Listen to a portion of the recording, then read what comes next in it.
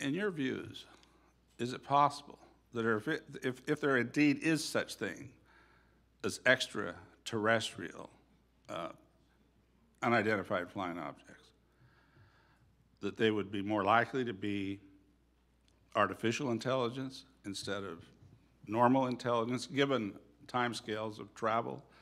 near a star, what, two to three light years away, for example? I think, artif- I think artificial intelligence is a, an extremely valid hypothesis. I've entertained it for many years. I think they would be the product of an advanced. I mean, we are we're less than a generation away from having our computers talking to us and claiming possibly to be sentient themselves. This is what AI theorists, and they're all mainstream people.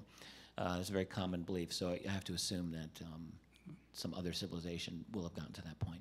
And a confirmed physicist working on ring lasers at Wright-Patterson told me uh, in the 1990s that he had firsthand knowledge about the extraterrestrial story and that he, as a physicist, in the work that he was doing, that they knew, meaning the people that are involved with studying the phenomena in the government, that we are dealing with technology so advanced that they literally can bend space, time, and move point to point through the universe.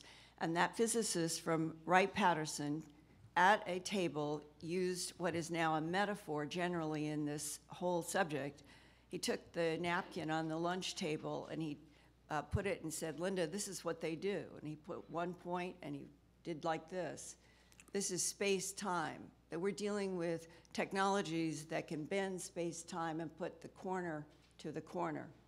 And that is why Euclidean geometry and time as we know it on this planet have no relevance to the phenomena and the intelligence that we're dealing with. Thank you.